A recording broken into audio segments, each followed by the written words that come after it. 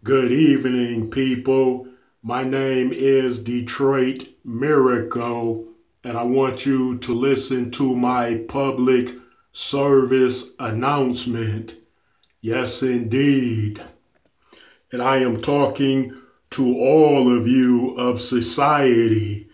Yeah, I don't just simply mean a couple of thousand, I mean, in fact, billions of people. Look, people, you as a whole are the ones that determine the supply and the demand for every single thing that happens and goes on. All of you are the ones that approve of that. All of you are the ones that make the demand for that. Such as in the case, some people will say, wow, crime is so bad, it's terrible, drugs are everywhere, there are so much drugs being shipped all over the place, so many drugs being produced, there are so many people on the drugs. Oh, how can it be? This is terrible.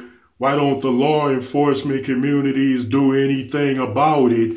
And that's because they can't. And the reason why is because the supply and the demand is much bigger and colossal than anything that any type of uh, organization lawful can deal with.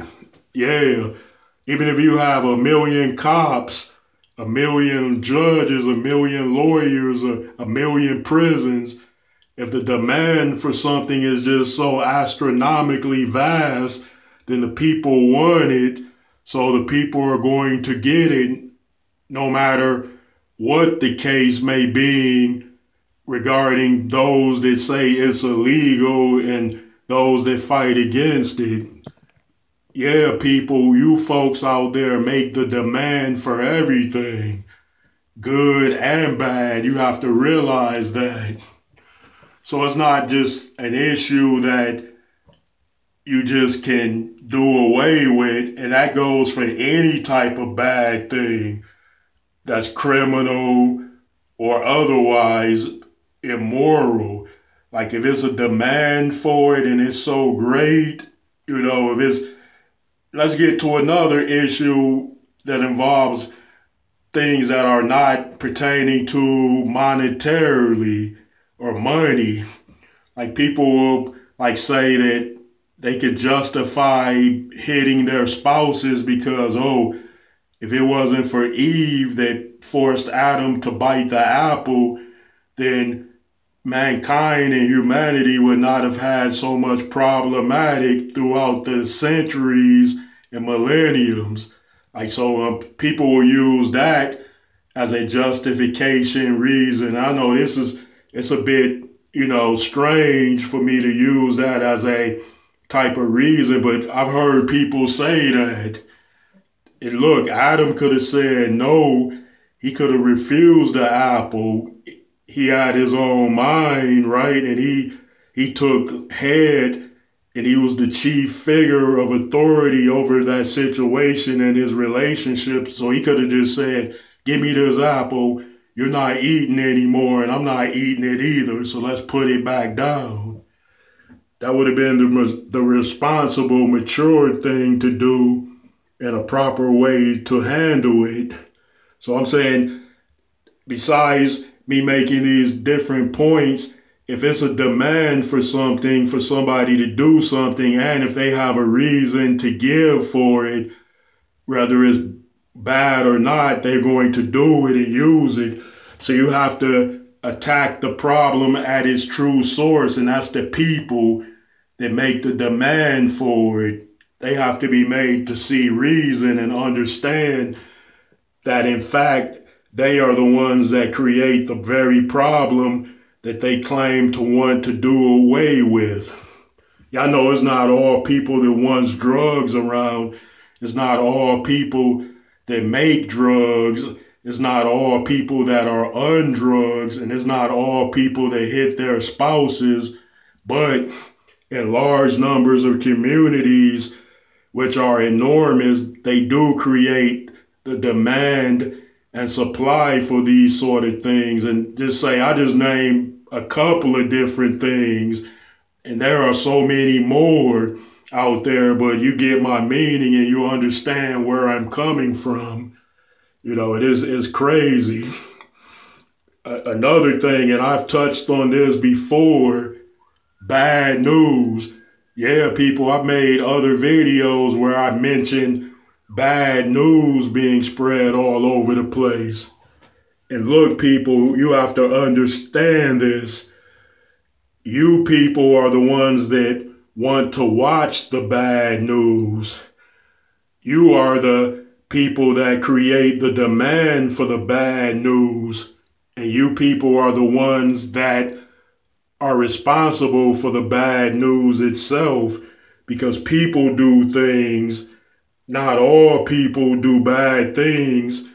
Not every person does bad things, but enough of bad people that are in the thousands and thousands to the point where they will create a lot of bad news. So if thousands of people are doing bad things out of the general population, then that makes a lot of bad news.